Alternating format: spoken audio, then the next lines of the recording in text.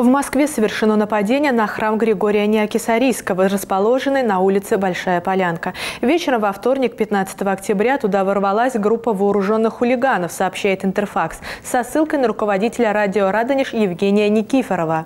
Ссылаясь на слова настоятеля церкви епископа Иеронима, Никифоров рассказал, что около 18.30, когда по обычаю после рабочего дня прихожане собираются в храме, чтобы помолиться и поставить свечи, в церковь ворвалась группа из 5-7 человек восточной внешности. Хулиганы, будучи в совершенно невменяемом состоянии то ли алкогольного, то ли наркотического опьянения, вели себя крайне непристойно, нецензурно ругались и угрожали молящимся пистолетом, поведал собеседник агентства. И подьякон настоятеля Михаил Голубев пытался урезонить хулиганов, на что один из них приставил к его лицу пистолет с угрозой разнести ему голову. Подоспевший епископ Иероним успел нажать тревожную кнопку, благодаря чему в скором времени прибыли были сотрудники второго отделения полиции, которым удалось задержать пятерых хулиганов. Задержанные продолжали бесчинствовать и в отделении полиции, отметил Никифоров. В Московском патриархате призвали к тщательному расследованию произошедшего.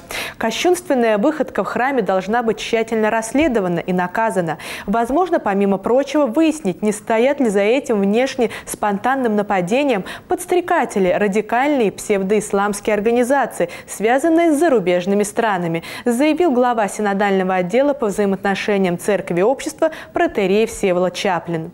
На фоне событий в Бирюлево и исламского праздника будто кто-то специально пытается столкнуть верующих традиционных для России религий – православного христианства и ислама. Сначала появляется дикая, вызывающая для мусульман картинка с нецензурной надписью на взломанных исламских сайтах. Потом происходит наглое осквернение храма, констатировал священник.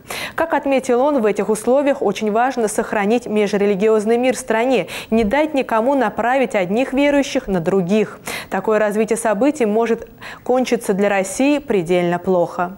Наверное, это понимают наши недруги, но это должны понимать и настоящие патриоты страны. Вот почему так важно сообща осуждать кощунственные акты, направленные как против мусульман, так и против христиан. Вот почему нужно вместе противостать нелегальной миграции и связанной с ней теневым криминальным бизнесом. Вот почему нужно противоставить провокациям сплоченность, розни взаимопомощь, попыткам посеять вражду, межрелигиозный мир и сотрудничество – подытожил представитель церкви.